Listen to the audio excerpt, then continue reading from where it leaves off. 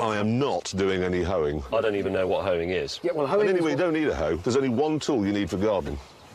And I've got it. It's a hammer. It'll be a hammer. It's not a hammer. This Is that a hoe? is all you... no, it isn't.